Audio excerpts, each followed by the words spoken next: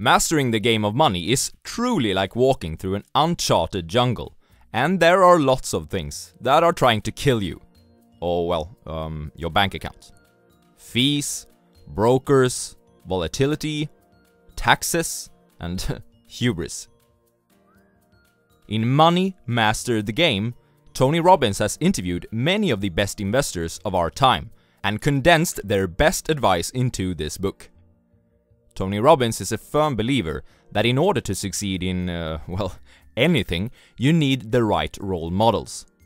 And who better to guide you through this dangerous jungle than legends such as Carl Icahn, Paul Tudor Jones, Kyle Bass, and last but not least, Ray Dalio. Tony Robbins interviewed all of them before making this book. Let's see what he now suggests after learning from these masters. Takeaway number one Climb the mountain of financial freedom. Picture your financial journey as a mountain climb. Much like climbing a mountain, there are two different phases in acquiring wealth the accumulation phase, in which you are putting away money and investing it in order to build a critical mass, and a decumulation phase, during which you are withdrawing money. There are five levels of financial freedom. Imagine the peak of the mountain as the absolute pinnacle of wealth building, and the other ones as base camps along the way. For instance, financial security is achieved when you've built a critical mass, or in other words, a portfolio, which can support and pay for all the necessities in your life, such as food, housing, and utilities. Financial independence is reached when your passive income can support your current lifestyle. And the pinnacle, absolute financial freedom, is reached when your ultimate dream lifestyle is supported by investment income. I encourage you to calculate how much you would need to accumulate in order to, uh, for example, reach financial independence. Clarity is power. When your brain knows a real number, your conscious mind will find a way to take you there, as stated in Napoleon Hill's Think and Grow Rich. Multiply your current monthly expenses by 12, and then multiply that number by 20, and you'll get a rough estimate of how much money you need to reach financial independence. Now we need a plan. Reaching this number won't happen by accident. The man on top of the mountain didn't fall there. Takeaway number two speeding it up reaching the peak faster. To start your financial journey, you must make the decision to no longer be only a consumer. You must also be an owner or an investor. This is how anyone, with the right guidance, can climb that mountain mentioned before. Here are 5 advice on how to speed up your climb. 1. Save more. We've heard it all before. The most important part to reach financial freedom is to pay yourself first. It's not about what you earn, it's about what you keep. Tony Robbins suggests that the best way to save is when you don't see the money in the first place. With every increase in earnings that you get, save a predefined slice of that. This way, you'll never get accustomed to the additional income. 2 earn more. On the other hand, there's always a limit to how much you can save. But the upside? It is limitless. The secret to earning more is to do more for others than anyone else is doing. You don't get paid for your time, you get paid for how much value you contribute with. With some exceptions, apparently. A McDonald's crew member in Sweden is paid approximately $12 per hour. While one of the more well paid in Sweden last year, Stefan Persson, earned a guesstimated $240,000 per hour from the dividends of his company H&M alone. 3. Reduce fees and taxes.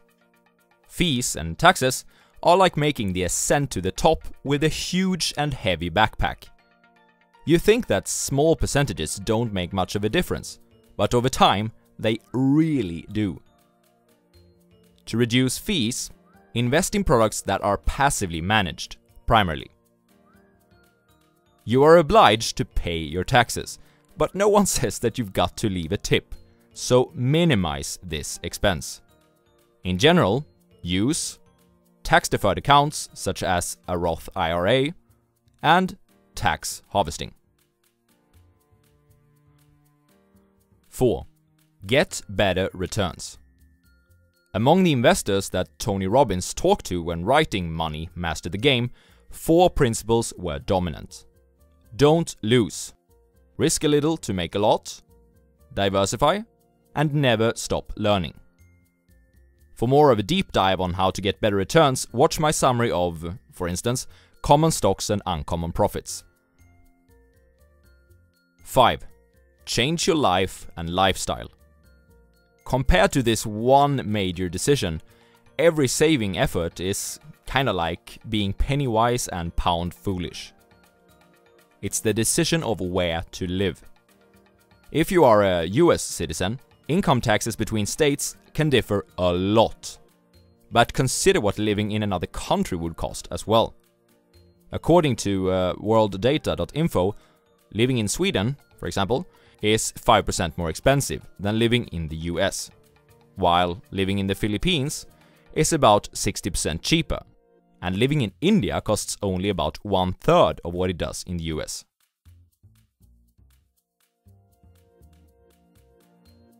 Takeaway number 3 The All Seasons Portfolio. Complexity is the enemy of execution, and execution trumps knowledge every day of the week. Therefore, most investors need an asset allocation in their portfolio that is simple to understand as well as simple to implement. The All Seasons portfolio by Ray Dalio fulfills this. Not only does it protect you from any potential economic environment, but it also protects you from yourself. When Tony Robbins' team of analysts backtested this portfolio between 1984 and 2013, they got the following results 9.72% annual returns, net of fees. Made money in 86% of the years. The worst drawdown, which was in 2008, was minus 3.93%. I think most people can stick to an asset allocation strategy that lost only 3.93%, maximum, during one year. Now, how does it work? According to Ray Dalio, there are four different types of economic climates, depending on the growth of the economy and the current inflation. Different assets perform relatively better during different conditions. We can't anticipate what will happen in the future in the market, but if we invest so that 25% of the risk of our portfolio belongs in each of these quadrants, we don't really care what the future holds for us, because we will thrive no matter what. To achieve this allocation, Ray Dalio suggests 40% long-term US bonds, 30% stocks, 15% intermediate US bonds, 7.5% gold, 7.5% commodities. The All Seasons portfolio gives you one of the highest probabilities of having a smooth climb to the top of the financial freedom mountain.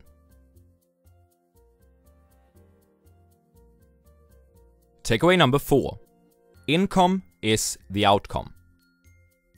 All in Anthony has been investing 100% of his savings into stocks during the last decade, and he's now reached the age of 65 and is about to retire.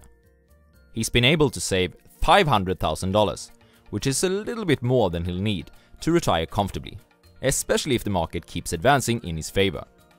Unfortunately, for All In Anthony, it's the end of the year 2000. Just two years and a half into retirement, All In Anthony has already lost more than half of the value of his retirement portfolio, and withdrawing money while the market has been down has increased the damage done. Unfortunately, the bills of Anthony don't seem to respect that. Here's an issue that most people will face when retirement is closing in. They've advanced to a certain level on the mountain of freedom, probably financial independence. But when it's time to put on the skis and enjoy the slope on the way back down, market fluctuations will have a significant impact on their ride. On the way back down, it's not assets but income that is of the greatest importance.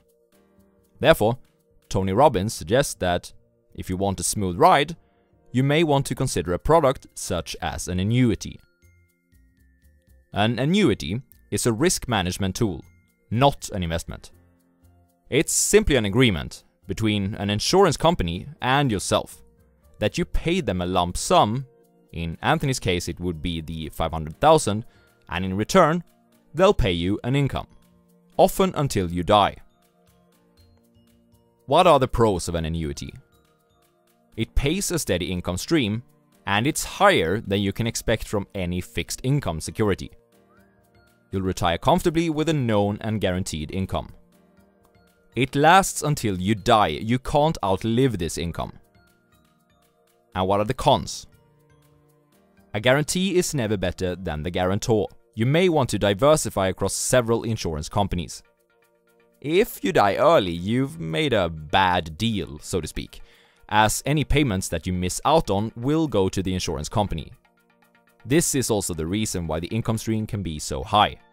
Essentially, the insurance company is pooling your annuity together with others and betting on an average mortality rate.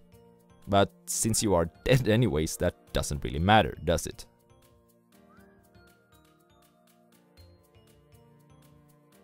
Takeaway number 5. 3 ways to buy happiness.